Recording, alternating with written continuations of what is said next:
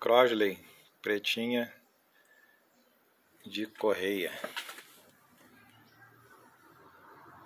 E trem bom. E ainda funcionando.